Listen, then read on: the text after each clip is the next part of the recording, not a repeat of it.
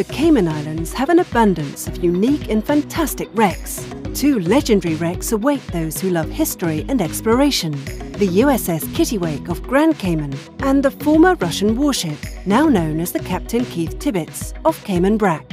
The Captain Keith Tibbetts uh, in Cayman Brac is an awesome dive to do. She sits in maximum depth around 85 feet of water in her bow section and her stern section is about 35 feet of water. And she's surrounded by lovely reef as well. So you can get the best of both worlds on that wreck. There's some areas which you can penetrate through the wreck, which is really quite nice to swim through and kind of be involved in the history of it, but also coming back from the wreck into the blue, looking at this kind of huge thing that's underwater is really quite a nice experience as well.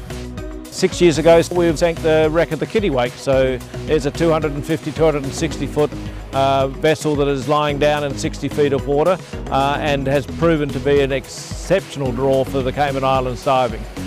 Every room you swim into on the Kittiwake, you can see three, four entry exit points at all times, so it's really good for beginner divers.